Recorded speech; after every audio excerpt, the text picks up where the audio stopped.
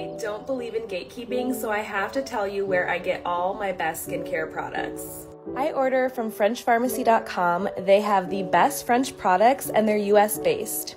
It makes me feel so worldly because I have found so many skincare products and I've never even been to France.